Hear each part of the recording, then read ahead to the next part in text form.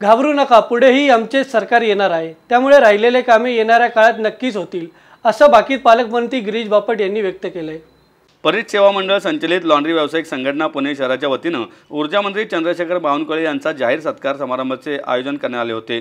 त्यावेळी पालकमंत्री गिरीश बापट बोलत होते. सगळ्या गोष्टी झाल्या पण आपलं काम व्हायला सुरुवात झाली. आणि तुम्हाला सांगतो मी राजकीय भाषणच करणार नाही. शक्यतो या पिरियडमध्येच तुमची सगळी कामं करू. एका दुसरं राहिलं.